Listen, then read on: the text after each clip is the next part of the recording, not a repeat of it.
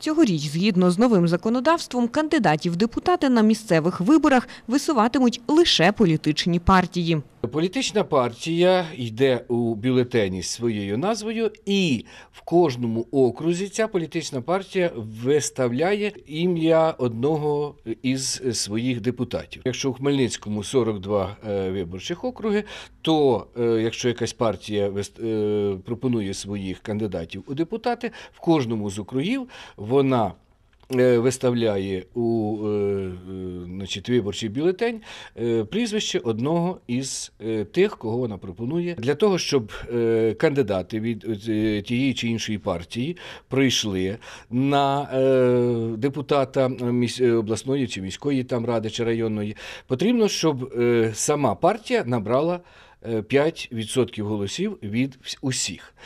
В іншому випадку, якщо кандидат набирає навіть 100% голосів на своєму окрузі, а партія не пройшла, не набралася голосів, виходить, що він не проходить.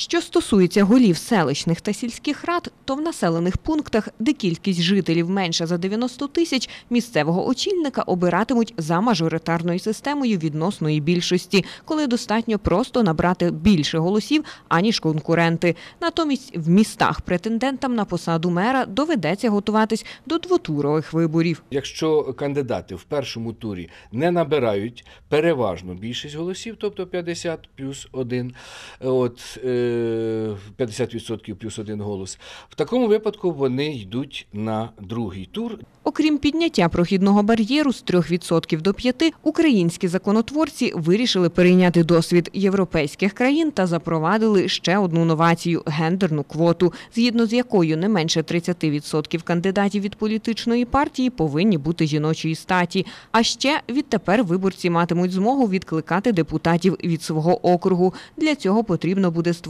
ініціативну групу та зібрати певну кількість підписів. Щоправда, й тут законотворці залишили останнє слово за політичною силою, поза як лише партія в кінцевому рахунку визначатиме відкликати свого кандидата чи ні. Остаточне рішення про відкликання цього депутата, от чи цього політика, все-таки покладається на політичну партію.